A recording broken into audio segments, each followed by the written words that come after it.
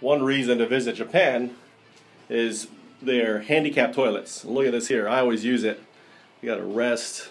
You got sprays, little hand basin, multiple wipes, right? Uh, seat cover.